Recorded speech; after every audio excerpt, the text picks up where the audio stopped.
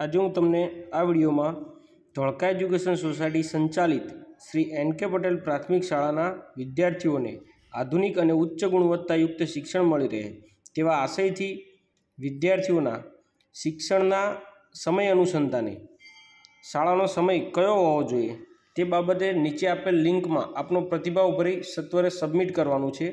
તો સૌપ્રથમ તો આપના વોટ્સઅપ ગ્રુપની અંદર તમારું બાળક જે ધોરણમાં ભણે છે તે ધોરણના ગ્રુપની અંદર આ લિંક આવશે, તો આ લિંકની અંદર જે નીચે બ્લુ કલરની લિંક દેખાય છે, તેના ઉપર ક્લિક કરવાનું છે.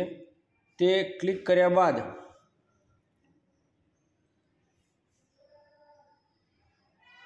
આ રીતે પેજ ઓપન થશે. આ પેજની અંદર વિદ્યાર્થીનું નામ, તો કે એક્ઝામ્પલ તરીકે ગુજરાતીમાં લખું છું. ગુજરાતી અને અંગ્રેજી બંનેમાં લખી શકાય. વિદ્યાર્થીનું નામ આપણે લખ્યું નયન, તેના પિતાજીનું નામ મહેશભાઈ, તેનું ધોરણ પાંચ, અને વાલીનો મોબાઈલ નંબર સત્તાણું સત્યાવીસ સત્તાણું, નેવ્યાસી, વીસ.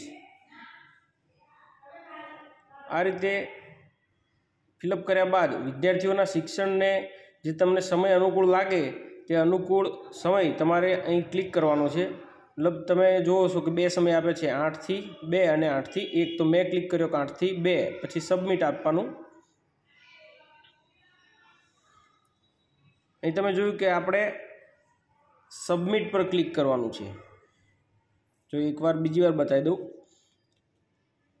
સમય પર ક્લિક કર્યા બાદ સબમિટ ઉપર ઓકે આપવાનું. એટલે આ રીતે તમે કરશો તો આ ફોર્મ ફિલઅપ થયેલું ગણાશે અને તમારો જે પ્રતિભાવ છે તે અમને મળી રહેશે. Thank you